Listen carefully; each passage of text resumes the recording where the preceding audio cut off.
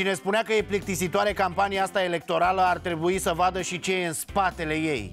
Imagini din culisele campaniei Elenei Udrea ne arată niște chestii nu doar anoste, dar și puțin absurde.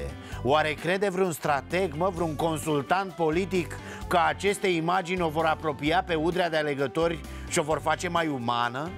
Mă voi dezoriginaliza când și ceilalți se vor dezoriginaliza dar pentru că ceilalți nu se vor dezoriginaliza, nici eu nu mă voi dezoriginaliza.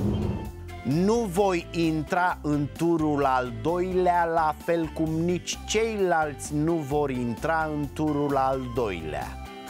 Ia uite mă că mi-a ieșit din prima. Am o dicție perfectă, auzi Doamna Udrea, ce spuneți acolo, doamnă, că nu se înțelege nimic? Mă voi dezoriginaliza Că din clipul ăla pare că sloganul de campanie este nebună pentru România Și dacă tot voiați să vorbiți mai clar, de ce n-ați făcut exercițiul ăla de dicție cu șase saci și șase saci? Loveați și în Iohannis Știți doar că niciun discurs electoral nu este mai nimicitor pentru contracandidați Decât un exercițiu de dicție făcut așa cum trebuie, nu?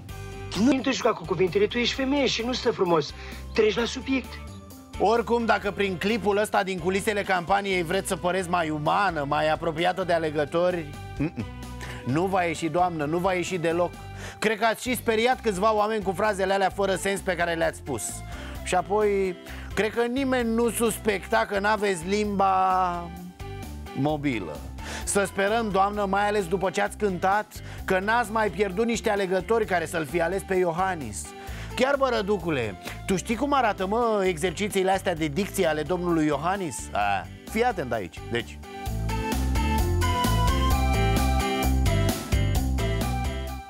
A, uite, vezi? M-am mișcat, mă, m-am mișcat. Nu, nu, nu merge. Tu crezi că e ușor, mă? Nu-i bă ușor. Doar așa înveți să taci din gură cât mai clar. Mie nu-mi iese